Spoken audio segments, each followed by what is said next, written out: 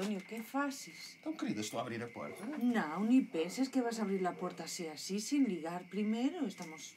Oh, querida, tem calma, tranquila. Mira, a minha mãe adora-me. Eu adoro a minha mãe. Ela vai-te adorar a ti. Oh. Adoro-te. Ai, António, que tonta. Ai, os meus pombinhos! Eu bem que parecia estar a ouvir vozes. Oh, filhote! Esta é Maria. Muito prazer, dona Emília. Espanhola! Era a surpresa.